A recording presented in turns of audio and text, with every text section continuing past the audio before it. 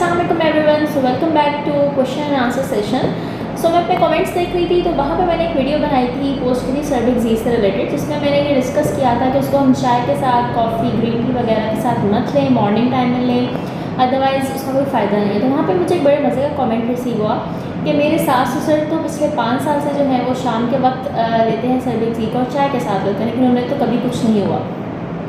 तो उसका रीज़न ये है कि बेसिकली अगर वो शाम के वक्त ले रहे हैं सरबत जी को और वो भी चाय के साथ ले रहे हैं तो उन्हें कुछ हुआ नहीं है तो उन्हें कोई उसका फ़ायदा भी नहीं हुआ।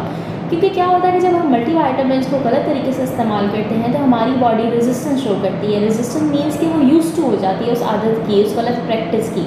जिसकी वजह से क्या होता है कि अगर आपको कोई नुकसान नहीं हो रहा तो आपको कोई फ़ायदा भी नहीं होता। तो अगर वो शाम के वक्त ले रहे हैं, चाय के साथ लेते हैं तो इससे उनको कोई फ़ायदा नहीं हो रहा है इससे उनकी न्यूट्रिशनल रिक्वायरमेंट भी नहीं पूरी हो रही, क्योंकि उनकी प्रैक्टिस रॉन्ग है। So that was basically the only thing that I was trying to convey through my video. So I hope you got your answer